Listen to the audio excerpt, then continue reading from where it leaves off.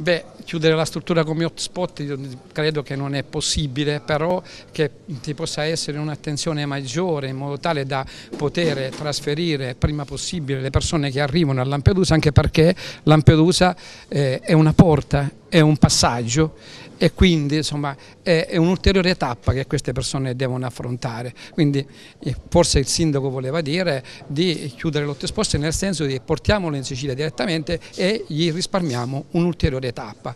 un'ulteriore tappa, anche perché poi da Lampedusa viva Dio, vengono trasferiti comunque in Sicilia, comunque in Italia, quindi ecco, forse voleva, voleva dire questo il signor Sindaco e quindi insomma ci potrebbe anche stare.